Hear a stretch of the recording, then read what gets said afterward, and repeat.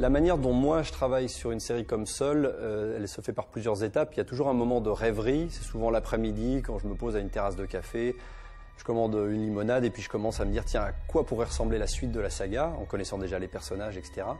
Je me nourris de tout ce que j'aurais vu à la télé, les documentaires, les, essais, euh, les romans, tout ce qui, me plaît. J'en extrais des morceaux, je les redigère pour en faire autre chose. Par exemple, dans le tome 12, il sera question sans doute d'un vieux film qui s'appelle Rollerball que j'ai aimé quand j'étais petit. Euh, et puis une fois que tout ça commence à mûrir, je peux vraiment euh, commencer à le présenter à Bruno.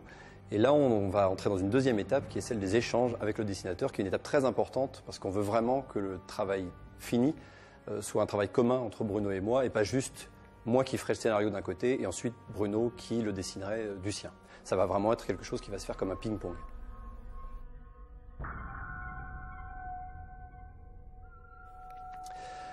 Une fois qu'on a décidé de, vraiment travailler en collaboration avec Bruno, on va se voir une première fois pour euh, discuter à bâton rompu pendant une journée de ce que pourrait être l'album suivant. C'est ce qu'on vient de faire sur le tome 12, puisqu'on a terminé le 11. Euh, et de ce ping-pong, je vais affiner ce que sera vraiment l'album. Il est hors de question que je fasse faire à, Bruno une scène qu'il ne sent pas. Inversement, je peux lui demander parfois euh, de, suer sang et eau sur des scènes compliquées qu'il accepte de faire parce qu'il sait que c'est important pour la série. Le tome 12 se passe à Néo-Salem, il y aura à nouveau les arènes, ça va être compliqué à dessiner, mais il est d'accord avec ça. De là, je tire un synopsis que je vais faire relire à Bruno. S'il n'est pas d'accord, je le modifie, on fait une V2 de ce synopsis. Le synopsis, c'est donc ce résumé, une espèce de squelette de l'histoire.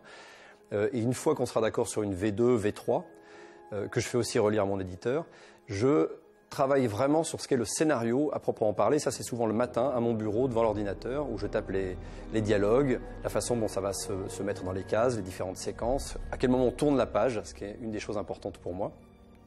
Et je ferai une V1, version 1 du scénario, que j'enverrai euh, à Bruno et à mon éditeur pour avoir leur retour.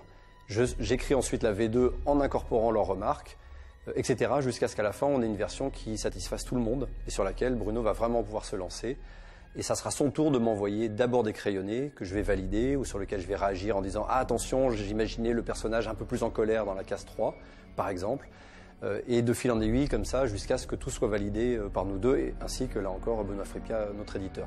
Quand tout ça a été, euh, a été terminé arrive l'étape de la couleur et on est presque arrivé, c'est presque la fin et les lecteurs sont à deux doigts d'avoir l'album tout chaud entre les mains et de nous enfin de, de nous apprécier alors que jusqu'à présent ils nous ont détestés pour ces mois et ces mois d'attente.